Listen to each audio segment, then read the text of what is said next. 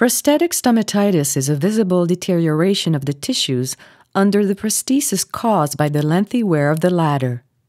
If a prosthesis is worn for a long time, thus preventing the tissues from breathing normally, the impairment will soon be obvious.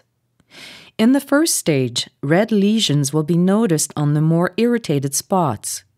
If no measures are taken to remedy this situation, the tissues will be more and more affected.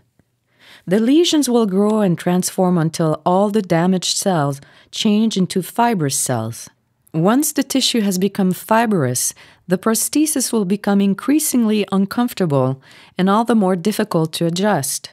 For the denture wearer who is conscious of the problems capable of damaging mouth tissues, there are several effective ways to prevent prosthetic stomatitis.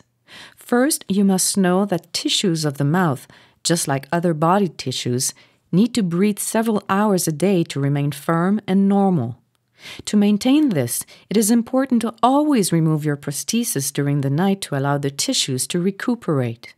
Massaging the tissues concerned may also reactivate blood circulation and thus diminish the harmful effects of wearing a prosthesis.